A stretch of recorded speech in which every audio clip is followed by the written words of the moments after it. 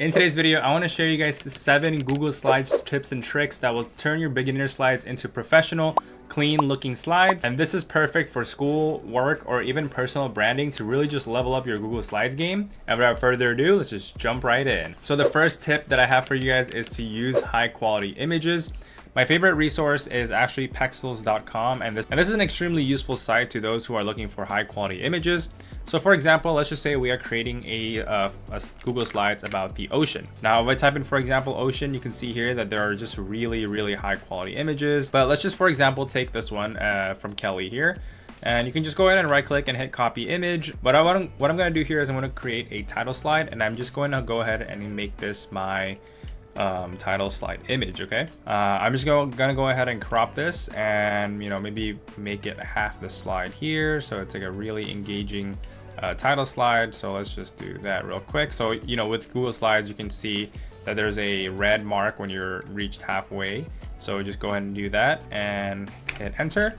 So you can see here that this is the um, high quality image that I'm using. Now the second tip that I have for you guys is to pick the right colors and font.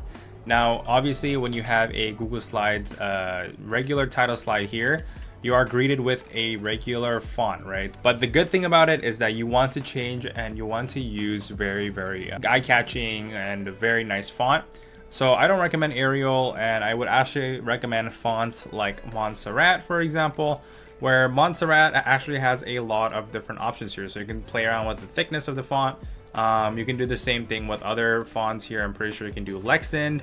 Uh, again, if you don't have any of these fonts, you can go ahead and hit more fonts here and type in uh, the fonts that you're looking for, okay? And again, plenty of fonts here. Uh, you can just go ahead and look around. But again, Montserrat or Lexend, I would highly recommend because they have a lot of variety in terms of boldness and stuff. So I'm just gonna go ahead and make this a bold font. So about the ocean, and then you wanna keep it consistent. So you wanna just change all this font also to Montserrat.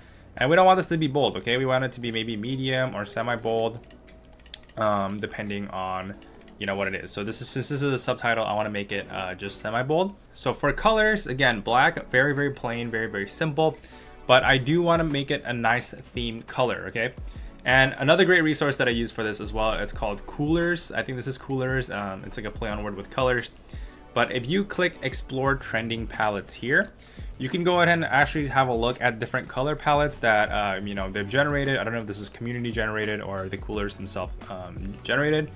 But you can see there's actually different fonts here, like for example, oh, different color palettes here, like Deep Sea or Ocean Blue Serenity, okay? So I'm just gonna look at Coastal Blues because this gives me like a very, very calming blue color and it fits the theme, it fits the ocean theme, right? So let's just go ahead and use one of these darker fonts. So if I click on a color, it actually copies the uh, the hex code for that color. Now when I go back here to Google Slides and I select my text over here, and I'm just gonna go, I'm just gonna go ahead and hit text color up here on top, and then hit custom color here. And if I hit this add a custom color, and I click it, and I control V to paste that color and hit OK, you can see what happens is that the color actually changes, okay? Now again, it's very, very subtle, but it's things like this that actually uh, matter because, you know, it's the theming. Theming helps a lot with professionalism, okay? Now I'm gonna go back and pick a bit of a lighter color here, uh, just clicking it and using that for my uh, subtitle here, so my text. And I'm just gonna go ahead and do the same thing. So go to text color, add a custom color, and paste it as well. Now let's move on. Let's pretend we're actually creating our, uh, our slides now. Now let's just say I want to grab another picture here for my other slide. Now I'm, I could just go ahead and grab this picture here by Clem, for example. And I kind of just want to make it into my background. So if I click background up here, when, uh, when I have the slide selected, hit image, and then I can do an image from a link, right? So from a link, and if you could paste the URL of the image, so instead of actually copying it, you can just right click and hit copy image link. And once I do that, um, I can go ahead and paste it here on Google Slides. And what it will do is it will actually add that image and hit insert image. So as you can see here, very, very nice uh, image of the ocean. And that leads me to my third tip, which is actually overlaying elements, okay? So now that if you choose to actually use this as a background image, you can actually overlay elements like squares, boxes, and stuff like that. So what I can do is actually I can make an I can make a text box here and I can actually overlay some text over it and I could just do center align on it so to make it a little bit better And again, we want to put it in the middle and you want to increase the font size a little bit because it is uh, it is going to be one of the titles, right, of this slide.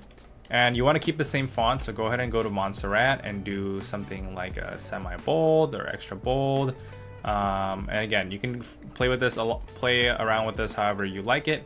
And I'm gonna go ahead and change the font color again back to that color that we already have. So I can go ahead and put this one right here.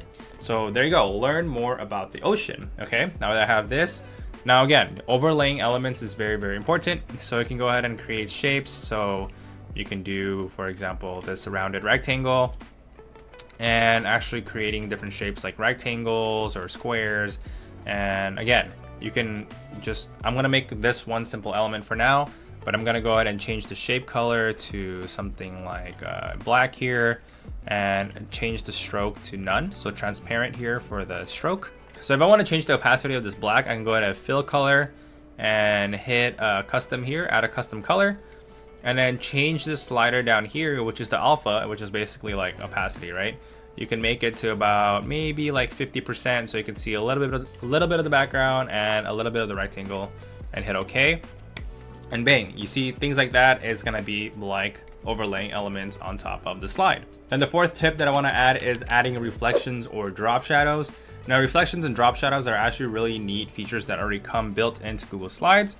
So for example, that we want to create, uh, you want to click this title and you want to add kind of like a shadow or a uh, reflection so that way it makes the slide look a little less flat, okay? Well, if I hit some text and I hit format options here, you could immediately see on the right that I have a uh, drop shadow and a reflection, okay? So drop shadow and reflection is again, like I said, built in. And if I hit drop shadow, you can see that it does drop a little bit of a shadow here behind it, okay? So it makes it look less flat, less boring, and it pops out the title even more, okay? You could change the, the color if you want it to be a little less dark. Um, you can change the opacity. Okay, so I can do black and do like a 50% opacity. You could also change the angle, the distance, the radius. So if you click reflection here, you can see that it actually reflects underneath it. You can see that what I want to do is I'm just going to change the opacity here to about like 24%. Um, again, you can play around with this opacity. You can play around with the distance here a little bit, the size, okay? Sometimes you don't want it to, you know, go past the water. Again, it's up to you, preferably whether you want the reflection or the shadow or not. But it looks really, really clean and it just makes it pop out more. Okay, now that I have this element over here, I'm just gonna go ahead and shrink it a little bit like this. Now I could add some text into it. I could write directly here and, you know, write on this shape itself.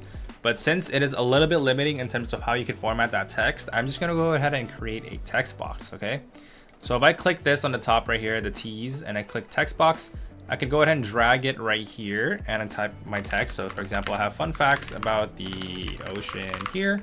Okay, and then what I can do is change the font. So I'm gonna select this whole font and change it to Montserrat as well. And I'm gonna do, for example, uh, medium or semi-bold in terms of the thickness. And again, I'm gonna go ahead and select everything and change the font color to white, okay? So changing it to white so it's a little bit easier to read. And again, I wanna just keep overlaying elements because I think it looks cool and looks clean. It's, it's a fun way to pop it out, right? So I'm gonna go ahead and create a oval or basically a circle uh, or oval, whatever you wanna do. So if you click and drag and you hold shift, it becomes pro proportional um, scaling. And I just want to create it kind of like around this size here. And I just want to put it over this um, rectangle, okay? In terms of the color, I could change the color again. So I'm going to change it to actually one of the colors that we picked earlier from the palette, which is going to be this dark blue color. So then I have this, uh, this one right here, and then I have this uh, shape here, which is going to be uh, overlay for my text, like a background overlay. And that leads me to tip number five, which is actually adding icons, okay? Adding icons, even though subtle, it's actually very, very nice and it adds a really, really clean touch to your presentations.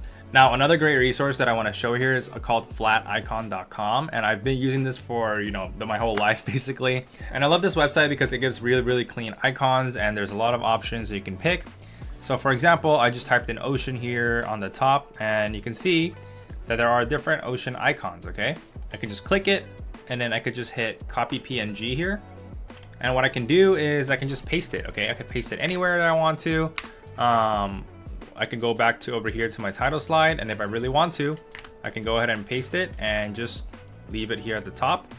If I want to kind of create a little icon here about the ocean, and you can see here that, you know, it just adds a little nice touch to the slide. It just is very, very clean and uh, you can put it next to the word ocean if you want. Very simple, but it just adds a nice little like sparkle, okay, on the, I don't know how to describe it, but it just looks really, really clean. Now, if I go back to Flaticon, what I can do is I can actually look for a certain color if I want. I can look for gradients, I can look for colors, I can look for black. Now, this is gonna be counterintuitive, but I actually want to click a black, okay? So what this does is actually it filters out all the uh, fish icons here to kind of have all the only, you know, the black colored fishes here. So what I can do is I can just, for example, grab this fish here, copy PNG, for example, and then I'm gonna paste it on this slide. Well, wait a minute, I thought you said you want a light color. I thought you want it to be, you know, white. Why are you picking a dark color? Now that's because if you go to um, Google Slides, they actually have a very neat recolor option here. So if you click recolor and you open this up, there's actually an option here. It looks like there's nothing there, okay, because the background of this uh, drop-down menu is white. But this will actually turn this fish into white. Now what this what you can do with this fish is now you could finally put it here on this icon.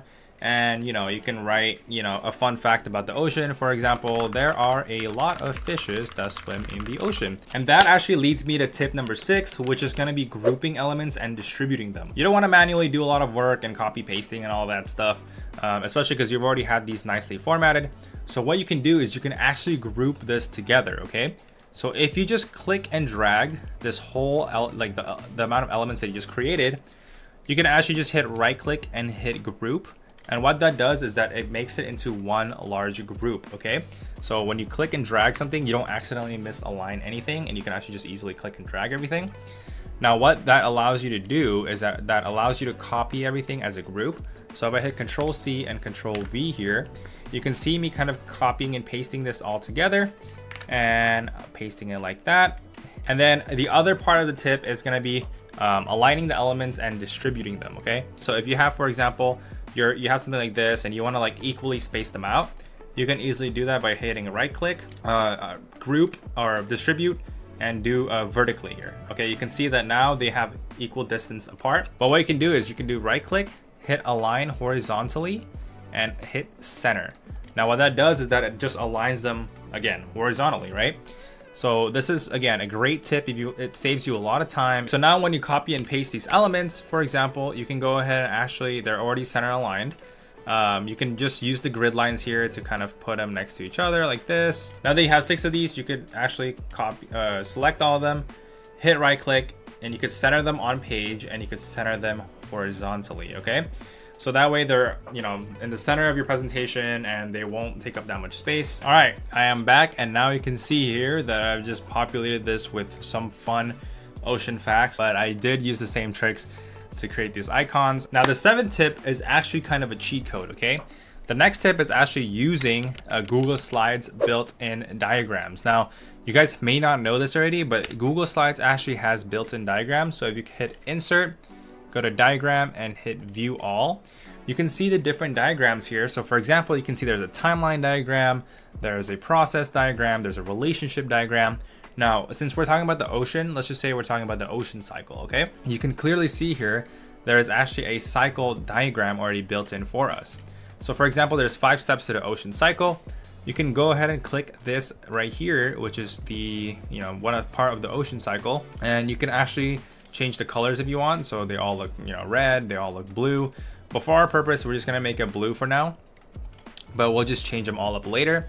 And this is really, really great because it doesn't require you to create this from scratch, okay? Now, the only thing that you have to remember is just if you wanna keep the consistency, you do have to change the fonts of these because these probably come into like a default Roboto font. So now once I'm done formatting this, okay, I can go ahead and look for a dark background, for example, like this ocean. It looks pretty dark and it looks like a high quality image. So I'm gonna go ahead and copy this link. Again, go back to background, uh, change the image of this background to a link here. And I'm gonna go ahead and paste it here and hit insert image. And as you can see here that the image has been inserted. But what you have to do now is you have to change the text color for all your text here to a lighter color. So I'm just, you know, selecting all the text. Now these arrows, same thing. You could change them all to white here. Same with this one. And then, you know, just, just do it for all of them. And you can just do it with like a gray or like maybe like a darker gray here. Um, you could again change the colors of these tiny little elements here. So they all turn to white. Um, so that way it's all synchronized and it looks clean. And again, you can bold these different steps on the top. You can kind of make them into um, the titles of them. So I'm just control B. And yeah, I believe that is a good amount of tips to really level up your Google Slides game here and just make it stand out and make it look very, very clean, okay? So hopefully you guys enjoyed today's video. If you did, don't forget to hit the like and hit the subscribe button down below. And I'll see you guys all in the next video.